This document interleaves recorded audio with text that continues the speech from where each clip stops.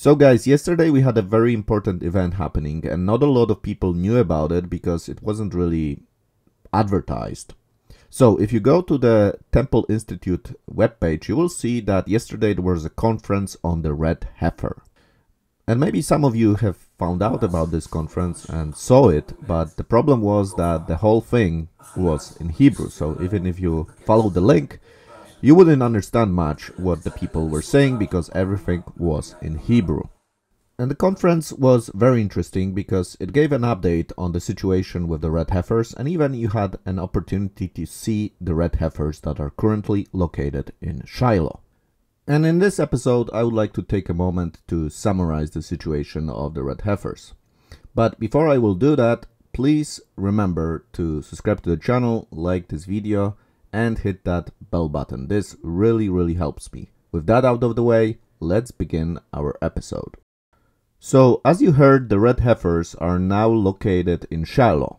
Why Shiloh? Well, if you remember the biblical story, you will remember that in Shiloh, the tabernacle was located before Jerusalem was the capital of Israel. So Shiloh became the first religious center for the Hebrews in the land of Israel and it became a very important place. You remember the story of Samuel and Eli, the high priest. This is all happening in Shiloh. If you're interested, I have a video on this channel where I visit the ancient Shiloh and talk about its history, its significance. So if you want to check that out, I will leave a link in the description of this episode. So, to answer the question why the Temple Institute chose this location to bring the red heifers, it's very simple. This is where the tabernacle stood, and this is where they can prepare, they can work on everything that is needed to building the third temple. So not only the red heifers are here, but a lot of studies are done here in this place, which became like a laboratory for preparing for the third temple.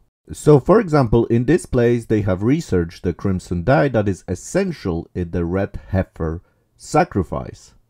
For many years uh, they didn't know how this red color was achieved, but recently they found a worm from which it can be extracted this red, really crimson color. So it's an amazing discovery that is another step towards the process of doing the red heifer sacrifice. So perhaps even before the temple can be built in Jerusalem, they will be able to build the tabernacle in Shiloh because it's much easier to actually construct a real tabernacle than the temple. And as you remember, the tabernacle served the same purpose as the temple. Okay, but let's go back to the conference and what was it about. So the conference was really laid back. It was mainly for Hebrew speaking, very religious people that are strongly connected to the land.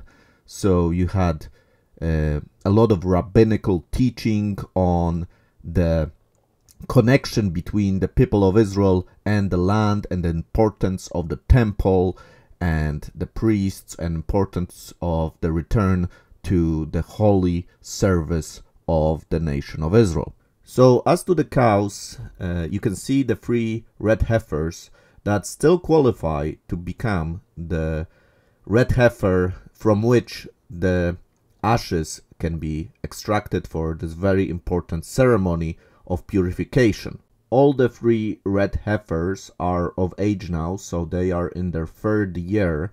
So that means they uh, they qualify already to be sacrificed. And during the conference, we had, for example, this person who was explaining all the details uh, that go into breeding cows in Israel. So he was, for example, explaining the differences of breeding cows in the Golan Heights and in Samaria, so those kind of things. So all the lectures in Shiloh were explaining that all they do is preparation where they can finally go from theory to practice and they can physically try all the things that are needed to uh, prepare for building the real temple and the real uh, religious system uh, that existed in the Bible. Now, uh, there was also a lecture on the place where the red heifer could be sacrificed on the Mount of Olives. And I did talk about this in my last video when I discussed that Hamas announced that the reason they attacked Israel was because of the red cows and the fact that Israel wants to perform a sacrifice to start building the third temple. Now, since the announcement by Hamas, it really stirred a lot of things in Israel. There was a lot of debate and things were happening and a lot of controversies. People were starting to seek different information, some were false, and really, really, it got really loud about this particular topic. And when it was quite quiet about this, it was looking uh, possible that the sacrifice of the red heifer could happen, uh, for example, during this year's Passover on the Mount of Olives. And the Israeli government was even giving a green light for this procedure to happen. But now, because of all the attention around it, uh, the Israeli government said that it will definitely not happen during this year's Passover. And you know, Passover is not like it's a deadline that it had to happen on Passover. Actually, the, the cows um, are of age now and they can be sacrificed um, whenever. Mm, there isn't really a limit, so it can happen uh, later than Passover, as long as they are of the right age. Anyways, to summarize, it looks like everything is getting closer and closer to this moment when the sacrifice will finally happen. All the pieces are starting to fit in. And you know, there may be a setback now because it will probably not happen during Passover, but we are still much, much closer than we were, let's say, a year ago.